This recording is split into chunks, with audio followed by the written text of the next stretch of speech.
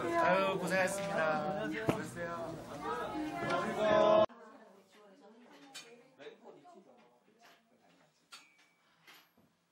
어, 제일 주된 포커스가 연어예요.